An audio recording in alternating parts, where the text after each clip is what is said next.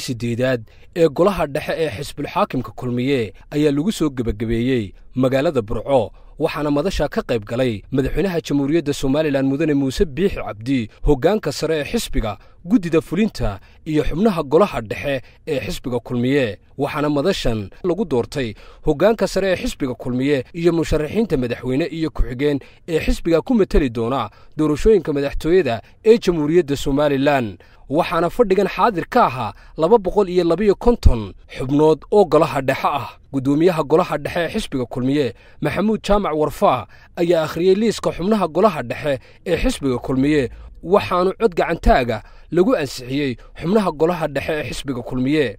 Waxaan doonayaa in la ansixiyo sidaa daraaddeed.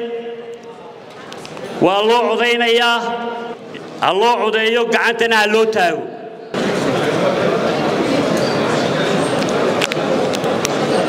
liiskaasi sidaasuu golo dhexe ku noqday kuna ansaxsan yahay. Wasiirrada wasaaradaha warfaafinta saleebaan yuusuf cali koore axmed cabdidheere guddoomiye ku-xigeenka labaad ee xisbiga kulmiye cabdiraxmaan cismaan caalin jaamac maxamuud cigaal guddoomiyaha garabka haweenka ee xisbiga kulmiye sahre saleebaan cawad iyo amaal xaaji miisaan oo ah la taliyaha madaxweynaha ayaa madasha hadalla kooban ka jeediyey. In xisbiga kulmiye uu mar saddexaad talada qabanayo ayaa waayihii iyo wakhtigu inoo sheegaya. Dhammaan ummadda reer somalilanna waxaan leeyahay nabad iyo deganaansho wax la dhaafsado lawaa maanta halkan iiga muuqda waa axmed xaashi oday iyo maxamed muuse abees. Lix ka mida bay ahaayeen.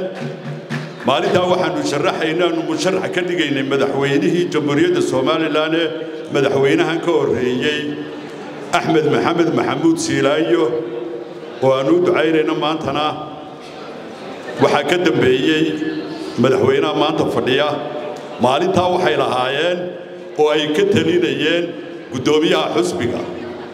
Inuu noqdo madaxweyne axmed siilaayo kadib muuse biixi cabdi muuse biixi kadibna aynu ku hoggaaminno maxamed kaayin axmed madaxweynahana waxaan leeyahay madaxweyne hadal wanaagsan oo qiimo leh oo taariikhda geli doona ayaad shalayta jeedisay.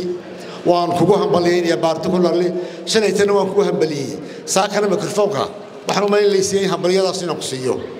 Ilaahay xilka ha kugu asturo. Ilaahay taladaa cusub ee maanta timina ha ka dhigo tii wadajir ku dhaqi lahayd waddanka.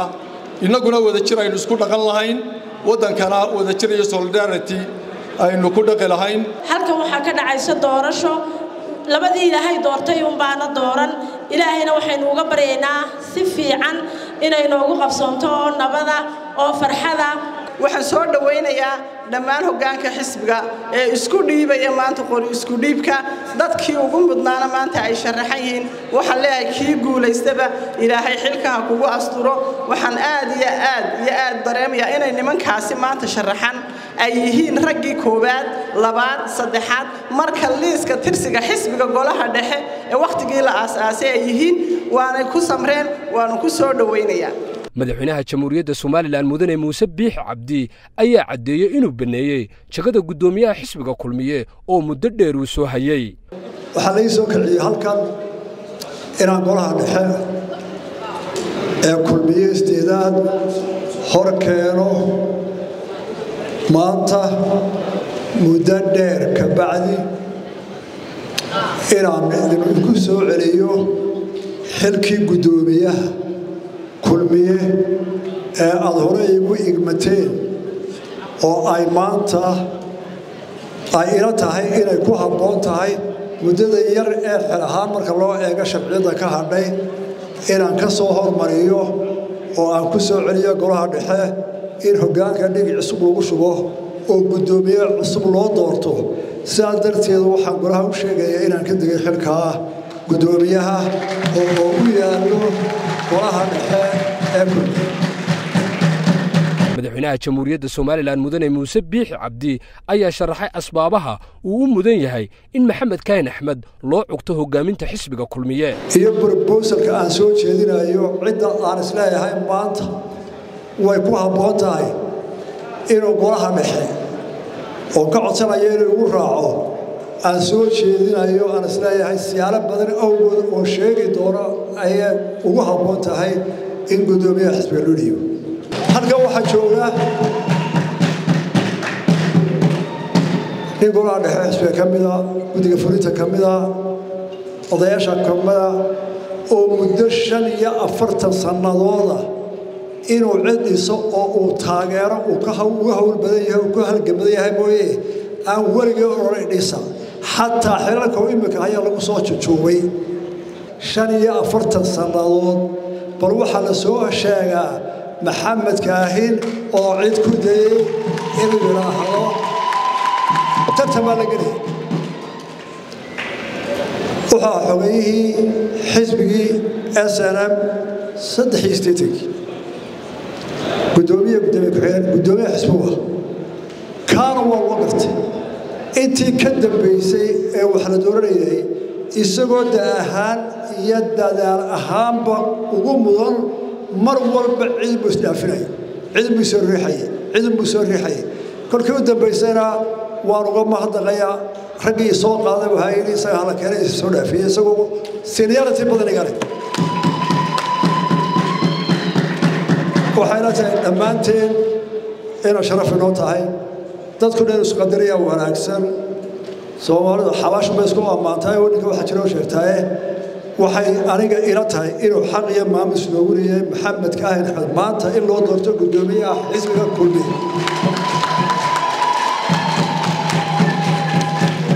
golaha dhexe ee xisbiga kulmiye ayaa cod aqlabiyada ku doortay in maxamed kaahin axmed uu noqdo guddoomiyaha cusub ee xisbiga kulmiye. Xubnaha golaha dhexe ee xisbiga kulmiye ayaa cod gacantaaga u qaaday labada musharax ee ku tartamaya guddoomiye ku-xigeenka koowaad ee xisbiga kulmiye waxaana guulaystay cabdicasiis maxamed samaale oo helay qol iyo lixdan iyo siddeed cod halka maxamed cilmi aadan ilka case uu helay shan iyo konton cod waxaana aamusay oo aan codayn toddobiyo labaatan cod. Cabdicasiis maxamed samaale iyo maxamed cilmi aadan ilka case ayaa doorashada kadib dareenkooda cabbiray.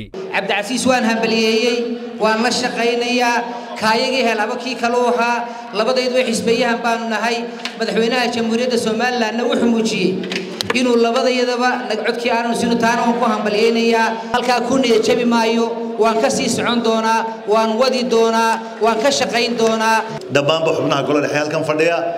Intii iga codaysay iyo intii codaysaba jasaakum allahu khayr baan leenahay waana saanu markii horeba odhan lahayn. Walaalkay maxamed maxamed cilmi aadan ayaan horta si gaara ugu mahadnaqaya oo ah walaalkii aanu tartannay ee cidhiidhiga i geliyey saddex bilood ka seexan waaye waxaan idiin sheegayaa golahaa dhexe qof aanan la hadal wuu yaryahay qof aanan la hadal haddana hadduu hambaliyaana waxaan leeyahay jazaaka allahu khayr.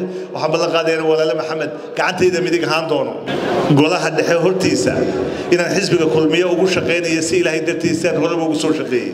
Waxaa kale oo fadhigan loogu codeeyey in xogayaha guud ee xisbiga kulmiye uu hab doorasho ku yimaado hoggaanka xisbiga intii uu socday shirka golaha dhexe ee siddeedaad ee xisbiga kulmiye waxaa cod aqlabiyada loogu codeeyey musharaxa madaxweyne iyo ku-xigeen ee xisbiga kulmiye ku mateli doona doorashooyinka madaxtooyada ee soo socda mudane muuse biixi cabdi madaxweynaha talada haya iyo maxamuud xasan sacad saajin oo madaxweyne ku-xigeen xisbiga kulmiye u ahaan doona guddoomiyaha cusub ee xisbiga kulmiye maxamed kaahin axmed ayaa hadal waane iyo dardaaran iskugu jira ka jeediyey shirka siddeedaad ee golaha dhexe ee xisbiga kulmiye. Inay somalilan geedi ay halkan ku soo gaadhay uu ahaa waa kow shirarkii nabadaynta inaynu ku soo gudubnay cahdi qarameedkii kun iyo sagaal boqol iyo saddex iyo sagaashankii boorame lagu sameeyey.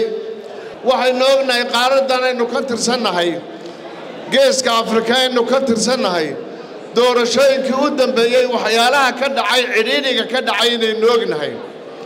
Xusbiga kulmiye wuxuu go'aansaday isagoo hoggaamiyihiisii xilligaasina go'aankaa uu qaatay. Inuu xusbiga kulmiye uu qaato doorashada in lagaga helay afar iyo siddeetan xubnood oo uu kulmiye aaminsan yahay inaanay afar iyo siddeetankaa codna aanay jirin.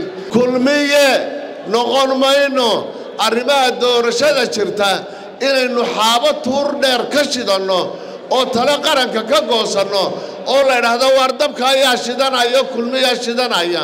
Waxaynu diyaargaroobaynaa doorashada ugu soo horraysa ee golayaasha ururada iyo xusbiyada siyaasadeed ay gelayaan waxaynu diyaargaroobaynaa doorashada sanadka dambe oo noqonaysa doorashada madaxweynaha iyo madaxweyne ku-xigeenka sidii dhaqanka inoo ahayd waxaa ah ballan.